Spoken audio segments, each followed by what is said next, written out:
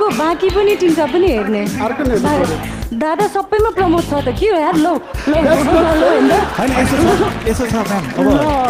यो त हामीलाई त धोका भयो त धोका। द भोइसको तेस्रो सिजन मार्फत गायनमा भविष्य खोज्नेहरू अहिले यही प्लेटफर्म मार्फत आफ्नो कला र गला प्रस्तुत गर्दै आएका छन्।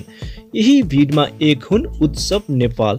उहाँले ब्लाइन्ड अडिसनमा कान्छी नानी बोलको गीतमा रकिङ पर्फर्मेन्स दिनुभयो।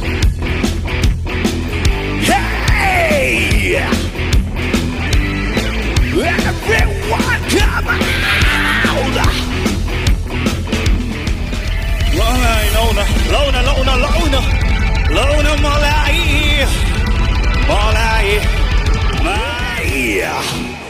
Kanchi Nani.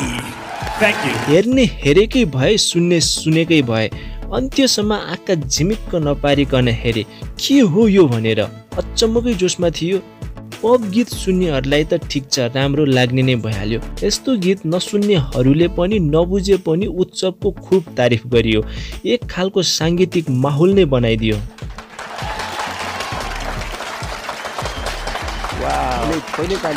के के हुँदैछ अमेजिङ हुन्छ कि?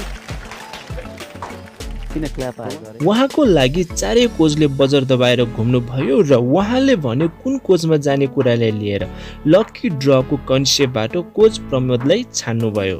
हेर्ने। दादा सबैमा प्रमोट छ त के हो? यार लो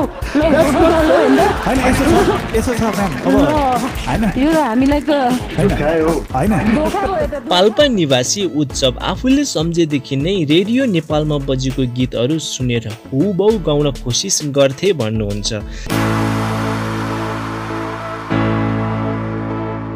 सानै उमेरमा आँखाको ज्योति गुमेको हो नि भन्नुहुन्छ। आँखाको ज्योति गुमेपछि खासै घुम्ने खेल्ने पनि भएन। मैले मेरो साथी चाहिँ गीत सङ्गीतलाई नै बनाएँ। होइन केटीले ल म उत्सव म तिमीसँग बिहा चाहिँ गर्छु।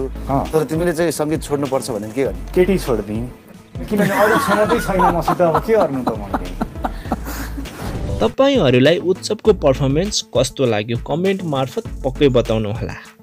भिडियो मन पर्यो भने लाइक सेयर गर्न नभुल्नुहोला। हामी फेरि अर्को नयाँ भिडियोमा भेट्ने नै छौँ। अहिलेलाई बिदा लिन्छु।